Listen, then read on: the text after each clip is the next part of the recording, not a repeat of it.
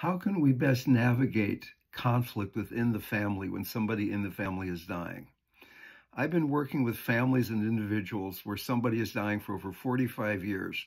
And here's what I've learned. First of all, try to remember that it's the person who's dying who is the central story here. It's their show.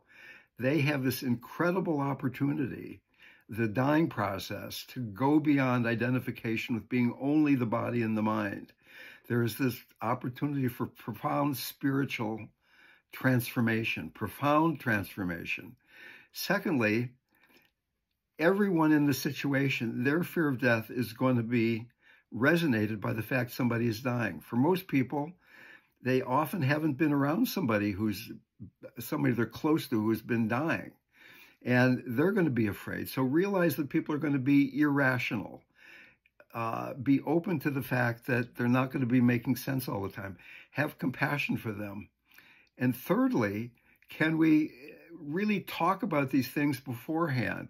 Can you talk to your parents and your grandparents? What kind of medical care do they want? Set up advanced directives. What's going to happen with the money? What's going to happen with the body after somebody dies?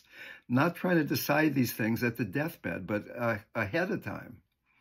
Now's the time.